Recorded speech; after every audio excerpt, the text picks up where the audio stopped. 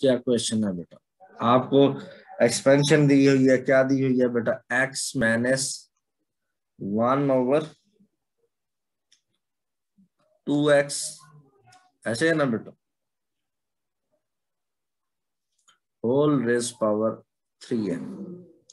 आपसे पूछ रहा है कि ये टर्म फाइंड करनी है, जिसका नंबर आपसे पूछा, पूछ रहा है बेटा। टू एन प्लस वन ऐसे है ना बेटा? देखिए टर्म को मैंने टी से रिप्लेस कर दिया और आगे लिखा हुआ था टू एन प्लस वन तो हमने इसलिए T raise power T subscript में क्या लिखा है आपने? टू एन प्लस वन इससे आपको क्लियर लग रहा है कि आर की वैल्यू क्या होगी बेटा? टू एन होगी कि नहीं होगी बेटा? हाँ बेटा। और एन की वैल्यू क्या होगी आपके पास? थ्री एन होगी। तो जर्नल फार्मूला क्या होता है? T R is equal to N R A N minus R और बी आर ऐसी है ना बेटा? T as it is R की वैल्यू क्या है बेटा?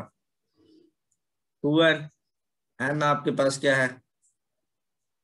थ्री एन और ये क्या है? टू एन है, और ये फार्मूले के साथ प्लस वन होता है, इधर भी प्लस वन होता है। ठीक है? ए की वैल्यू क्या है बेटा? एक्स और उसकी पावर क्या हो जाएगी बेटा? Three N minus two N और minus one over two X ठीक है? और इसकी पावर क्या होगी बेटा?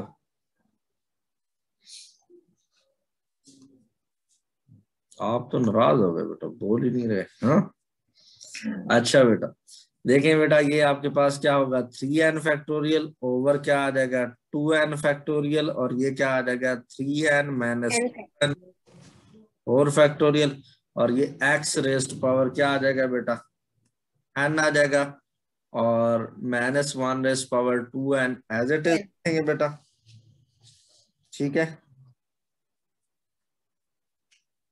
ऐसे ही है ना बेटा? सर और इसमें टू और एक्स की पावर भी लैदा कर ले नीचे। लेकिन आपके पास ये टू इवन है ना तो नेगेटिव साइन तो मेरे ख्याल में आएगा ही नहीं। क्या ख्याल है? तो इसको अगर हम इग्नोर कर दें तो क्या फ़र्क है? पढ़ता है कुछ एक्स की पावर क्या आएगी बेटा?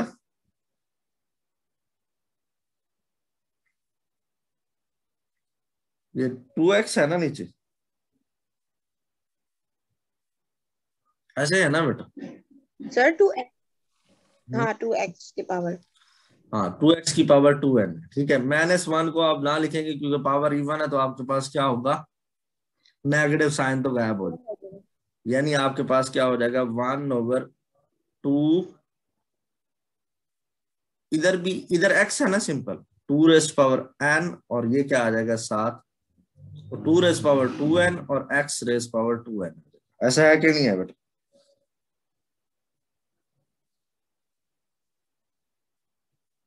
यस सर अच्छा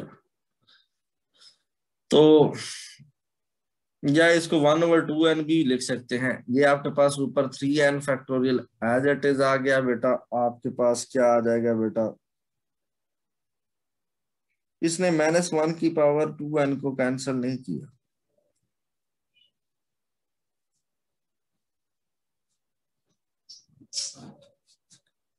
देखिए, आपके पास क्या है? Three N factorial as it is over two N factorial आपके पास क्या है बेटा? एज इट इज़ और ये क्या आ जाएगा? सात एन फैक्टोरियल ऐसे ही है ना बेटा? X power N as it is ठीक है बेटा? और नीचे वाली पावर को ऊपर ले आएँगे तो क्या होगा?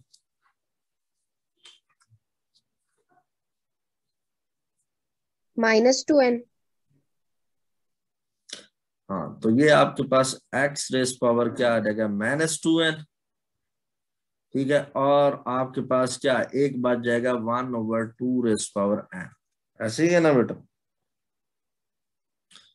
और अगर देखें इधर हम एन की वैल्यू फ्रैक्शन में तो नहीं हो सकती, लेकिन एन को अगर नेगेटिव हम साइन रहने दें या ना रहने दें, कोई फ़र्क तो नहीं पड़ता वैसे इवन है ना?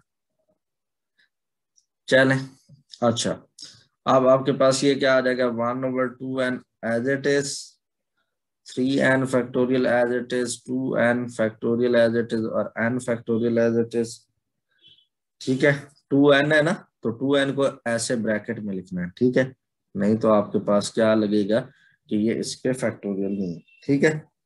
उसके बाद आपके पास क्या आ जाएगा बेटा? X raise power minus N और नीचे ले जाएँगे तो आपके पास पावर क्या आ जाएगी?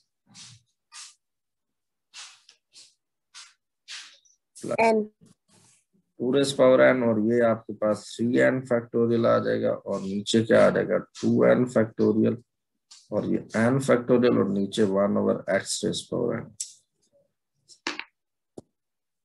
ठीक है बेटा? चेक करें आंसर यही है।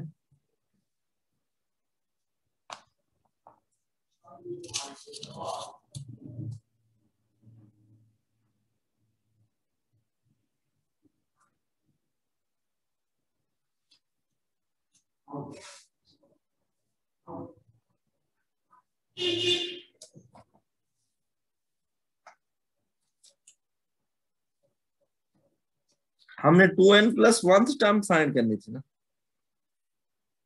या एन प्लस वन थी। क्वेश्चन देखें क्वेश्चन ठीक लिखा है मैंने। टू एन प्लस वन थी। टू एन प्लस वन थी। चलो फिर तो ठीक है।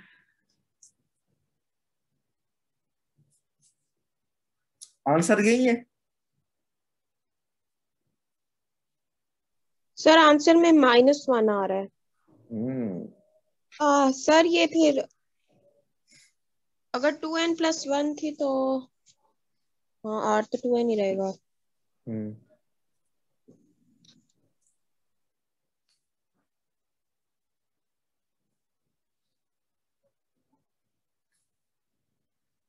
उधर आंसर क्या है?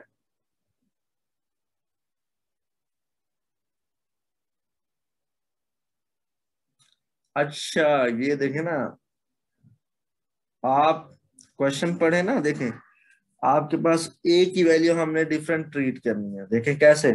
देखें क्वेश्चन में क्या लिखा हुआ है? Find the two and plus one T S term from the end in the expansion यानी आपने एक्सपेंशन क्या करनी है?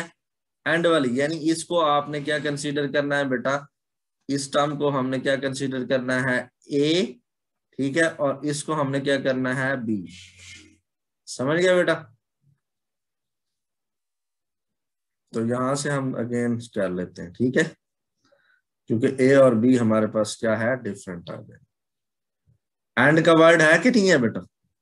मैंने वर्ड नहीं कि हम चेंज कर देंगे और बी को। हाँ बिल्कुल। एंड का मतलब है एंड से स्टार्ट करेंगे ना एक्सपेंशन तो ये आपके पास एन की वैल्यू क्या है हमारे पास बेटा?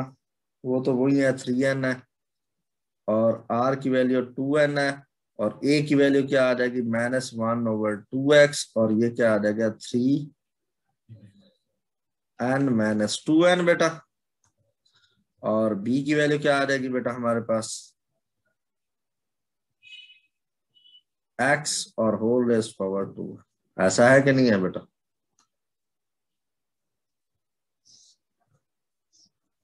ठीक है बच्चे। अच्छा ये क्या आ जाएगा? ये तो अब आसान है। क्या आ जाएगा? थ्री एन फैक्टोरियल ऊपर नीचे टू एन फैक्टोरियल लिख लेंगे बेटा, और साथ एन फैक्टोरियल आ जाएगा। और ये क्या आ जाएगा? Minus one raised power N factorial as it is और नीचे क्या है? टू एक्स है। तो ये क्या आ जाएगा? टू। या इसको ये लिख सकते हैं minus one over two whole raised power N ठीक है? या इसको अलग लिख लें, पहले होल लिख लेते हैं, फिर अलग लिख लेंगे। और ये one over X raise power N और ये X raise power two N ठीक है बेटा, अब देखें ऊपर वाला minus one raise power N factorial as it is आ गया बेटा। और देखें नीचे वाला ये क्या बच जाएगा? नंबर टू एन आ जाएगा। और उसके बाद क्या लिखते हैं? फैक्टोरियल लिखते हैं, क्या आ जाएगा? ये थ्री एन फैक्टोरियल लिखेंगे ठीक है बेटा? ये थ्री एन फैक्टोरियल, नहीं तो मिस्टेक कंसीडर करो। ठीक है? बल्कि थ्री एन कोई फ़र्क नहीं पड़ता, बल्कि कोई मिस्टेक नहीं है। ये टू एन फैक्टोरियल लिख ले, और क्या है? सात एन फैक्टोरियल। ठीक है? क्योंकि फैक्टोरियल हमेशा मल्टीप्लाई हो रहते हैं तो कोई फ़र्क नहीं पड़ता। ठीक है? अच्छा और उसके बाद क्या आ जाएगा? टू एन आ गया, एन आ गया, और क्या आपके पास रहता है? एक्स ये नेगेटिव पावर है। ऊपर ले आएँगे तो क्या हो जाएगा बेटा? ये पावर है, ऊपर ले आएँगे तो पावर क्या हो जाएगी? नेगेटिव होगी कि नहीं होगी? यानी X raise power two N minus N लिख सकते हैं कि नहीं लिख सकते? तो ये क्या आ जाएगा? Minus one raise power N over two raise power N ये क्या आ जाएगा? थ्री एन फैक्टोरियल और ये क्या आ जाएगा? टू एन फैक्टोरियल आ जाएगा बेटा। और ये एन फैक्टोरियल आ जाएगा। ठीक है बेटा? और साथ क्या आ जाएगा? एक्स रेस्ट पावर ये आंसर है कि नहीं है? चेक कर।